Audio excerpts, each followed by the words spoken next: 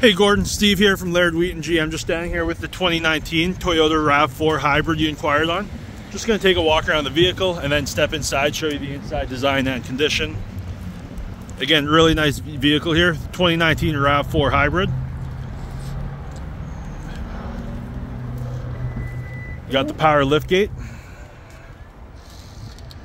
with the cargo liner. It's going to run up all the way to the back of the seat and protect the whole back of the vehicle. RAV4 inscription. Close it up. And again, hybrid XLE. Really nice trim here. You got your blind spot monitors. So if anyone's in your blind spot, it's going to light up amber. Power windows, locks, and mirrors, along with power driver seat. Push button start. And of course, you've got your heated seats, traction control, drive modes, electronic parking brake.